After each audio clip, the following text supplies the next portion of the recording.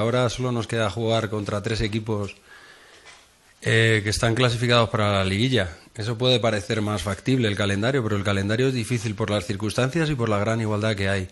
Y nosotros cada día estamos en un proceso de mejora y de búsqueda porque buscamos muchas situaciones distintas, intentamos aprovechar el buen momento de los jugadores con distintos sistemas y de juego y, y es lo que hacemos habitualmente. No solo por estamos pendientes de los resultados, sino también de lo que necesitamos en o entendemos que necesitamos en cada momento. A Carlos, González, a Carlos González de falta de efectividad y yo le defendí aquí como creo que, que debo defenderle. Entonces, esos debates no, no me preocupan en absoluto. Me preocupa la búsqueda de mejorar el equipo. Mañana tienen un partido, tienen un viaje que siempre aparentemente es incómodo, pero en cualquier caso nosotros no preferimos fijarnos en lo que queremos hacer nosotros y hacia dónde queremos llevar el partido. A mí Cruz Azul me parece muy buen equipo.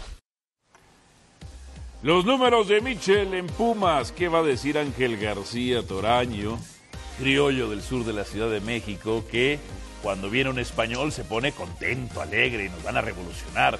Cuando desde López Herranz no había nacido, creo que Ángel García Toraño, un técnico español, no gana un título en el fútbol mexicano. No lo digo contra Michel porque es español, simplemente por estos criollos que quieren venir a decirnos que todo lo que venga de España es mejor. ¿Y dónde están los Pumas, don Bueno, a ver, lo que, es el primer partido que empata Pumas en el torneo y es lo que sí es eh, alarma- Lo que le quiero criticar a Pumas. Fueron unos tenía- cobardes. tenía- sí, sí. Cobardes. Lo dije el sábado y nadie estuvo de No acuerdo tuvieron conmigo. 11 jugadores. Lo dije el sábado en Tuvieron Picante 11 jugadores, no nadie 11 estuvo hombres. de acuerdo conmigo. Si yo tengo que analizar lo que ha hecho Michel con Pumas, me parece aceptable.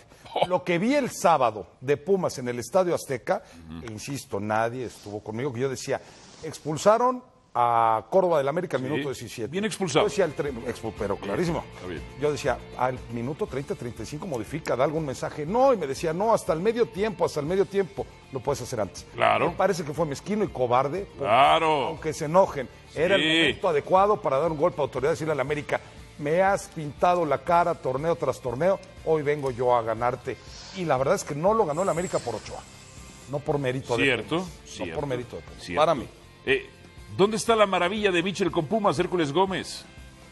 Yo le, me gustaría preguntarle a mi querido Ángel, que respeto y admiro tanto, Gracias, que si. Mi- Michel, para, para tu gusto, eh, no, no, no, para nada, esto es en serio, pero Michel, para tu gusto es aceptable como un técnico del América, que sea del América él, No, en este momento no. con estos actos. No. ¿Por qué no?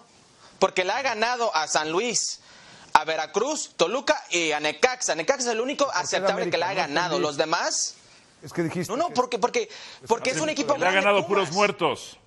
No, Es bueno, un equipo grande, Pumas. Bueno, hay que ganar- Entonces, hay que ganarle ¿qué, a qué hay- todos ¿Qué los hay de equipos. aceptable en su trabajo? Aceptable los números. Es regular. Está en la posición número 9, si no mal recuerdo. Ganados. Los números porque le tocó jugar contra San Luis, le tocó jugar contra Veracruz, le tocó jugar contra San Luis- Toluca. San Luis, San Luis no es ningún muerto, Hércules. No, fecha uno, fecha uno. Bueno, Y jugó la mejor fecha San uno Luis. le, le acabó ganando. ¿Cuántos equipos no juegan contra muertos como Cruz Azul y no le pudo hacer un gol, por ejemplo, a... Pero no dije que Cruz Azul es un muerto. no, Pero yo sí te es. digo, pero sí, pero sí jugó. No, o sea, yo, yo te digo que Pumas ha sido responsable de sumar puntos que le pueden eh, en este momento hacer que siga peleando por clasificar. tiene 13 puntos. ¿Estamos de acuerdo? A ver, no? don Héctor, No don está eliminado, don Héctor ¿eh? Huerta. No está Creo que fuera. te dejas llevar por lo que es español. Creo que Es que esa es la cosa. te dejas Tiene llevar. que ver. Claro. Al contrario, estoy muy severo Esto- con la estos crítica de lo que tenía periodistas que haber hecho. de origen ibérico, América. digo, eh, pues mis antepasados llegaron primero que Hernán Cortés, Pedro de Alvarado, llegaron primero. Si es de presumir antepasados, pues los míos llegaron primero que los de ellos, ¿no? tiene nada Pero que ver. cuando viene algo español, ¡wow! A ver, a ver, a ver, a ver. ¡Wow! Lillo triunfó. Tú estás mintiendo Perdón. igual que Hércules. Yo soy, admiro mucho más al Piojo que a Miguel, eh, que a Michel. ¿A qué, Miguel? Michel. más Ah, más ok, ok, Miguel. ok, ok. Miguel González. Ok. Bueno, Más te vale, diez mil, ¿eh? diez mil Más veces te vale. mejor técnico me parece el Piojo. Ajá. Le aplaudo al Piojo lo arrojado que fue el sábado y Pero- le critico a Michel. pero ¿cómo Ahora, alababas tú ya a lo quieren matar, dejen que termine El problema no es contra si Michel en sí, es contra esta, esta prensa españolita que son criollos, no, no- no les alcanzó, alcanzó ni para ser peninsulares. O sea, si estuviéramos en la colonia serían de segundo nivel, punto. se acabó. A ti, No, a mí nada más, ti, a mí y nada a más, muchos no, más. Héctor Huerta. es universal. No, Héctor Huerta, no. Huerta. Yo traigo la voz del mestizo, nada Sí, más. Eh, somos mestizos. A ver, eh, a ver, la cuestión, yo lo veo así, de esta manera, ¿eh? Pumas junto con Michel perdieron 12 puntos. O sea, cuatro derrotas, ¿no? Eh, Mitchell, sin Pumas, eh, perdió dos puntos.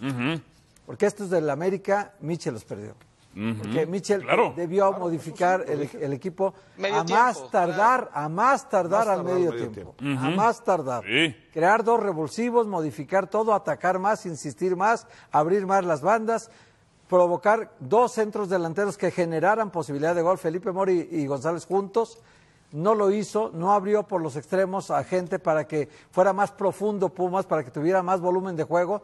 Y eso en el pecado llevó la penitencia. Esa pusilanimidad que tuvo Pumas en el tuvo mucho que ver con la banca. La banca no reaccionó a tiempo para hacer de este Pumas más agresivo en el Ese, segundo señor tiempo. Huerta, usted me dijo el viernes que tenía más banca el equipo de Pumas que titulares en la América. Tenía, tenía banca, claro. Metió Iturbe, Martín Rodríguez. Entonces, ¿de quién es culpa? El No, no, técnico. No, no, no, pero los metió tardísimo. Amora lo metió al minuto Tardísimo. 90. Tardísimo. A ver, ¿Para a ver. El señor Huerta, ¿usted ya había nacido en el 56? No. No, bueno, esa fue la última vez que un técnico después. español fue campeón en el fútbol mexicano. Los últimos que vinieron, Ascar Gorta, ¿quién más le gusta? Lillo, ¿quién más le gusta? Allí estarán. Benítez ¿Quién vino, más le gusta? Gemes vino. Eh, Floro, Gemes, Gemes. Gemes. A ver, si aquellos, aquellos que creen que porque vienen de España van a triunfar inmediatamente en el fútbol mexicano, no, están equivocados. Los técnicos mexicanos contra estos que han venido han demostrado ser mejores que estos, ¿eh? Pero cerquita de España está Portugal y sí ganó Caixinha aquí. ¿eh? Y, eh, bueno, está bien, pero no es español. No, no es español. ¿no? Bueno, y ya no está en Cruz Azul, señor. Frontera ahí, y, pero- y el, y el torneo que quedó campeón casi lo corre en ese torneo. Solo que se enrachó. Esa es la verdad. Ochoa fue campeón. ¿Estos Pumas están para la liguilla, don Héctor? Eh, tienen yo creo que más posibilidades que Chivas, sí. Más posibilidades, están en lugar 9. Hércules, ¿están para la liguilla los Pumas? Sí, sí están. Ángel. No. Entonces, ¿por qué tanto los defiendes? Chivas sí. Entonces, ¿por qué no. los defiendes? Porque no, no, yo no los estoy defendiendo. El primero en criticarle el accionar de Pumas contra América fui yo. Están para donde están en el noveno. No, solo te falta gritar viva Fernando VII también, ¿eh? Vamos. Están para, para donde